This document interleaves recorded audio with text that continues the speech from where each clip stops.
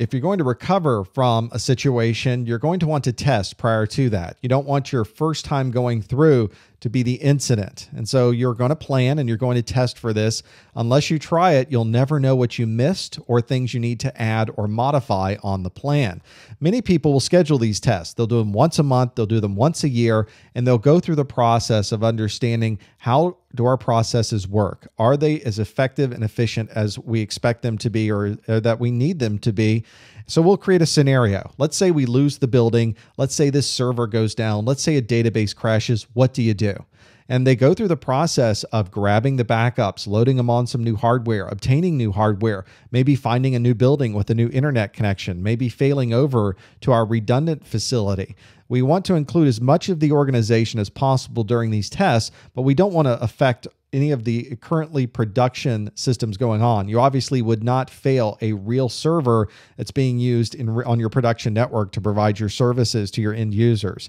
You also want to think about documenting this, especially during the testing phase. Should an actual emergency occur and cause a downtime to your business, that's not the time to go through and think er, if you're doing this right and maybe we should change this for next time. You want to do that during your planning phase and during your testing phase. And afterwards, you'll be able to look at that list and say, what worked during our test or what did not work during our test? Do we need to change our processes? Do we need to buy additional resources? Or do we need to think differently about how we're going to handle this problem should it occur? A business and organization is not just the IT department, it's not just the HR department, it's just not just the finance department. A lot of these processes that we're doing day to day in our organizations involve a lot of different people in a lot of different departments.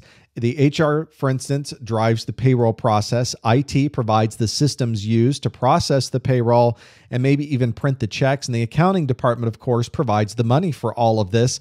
So, all of those operational functions surrounding things as simple as payroll are actually behind the scenes a relatively complex process. Almost everything in your business is going to rely on IT, though. Almost everything we're doing these days goes through our computer systems. So that's probably the first place we'll start is get our systems up and running as quickly as possible and then blend together all the different software and links we need between all of these different departments. When you're planning this and you're building all of your policies for this, you'll want to make sure you include the entire company with this, include the HR department, include the payroll system, the, even the manufacturer of the payroll software, include your accounting department and everyone else. It is remarkable how interrelated these things are. And ultimately, we need to make sure we have a document on this. And that that's kind of a difficult thing to be able to take all of these very complex business processes and be able to put them in a way that we can understand how they operate so then therefore we can recover them should a problem occur.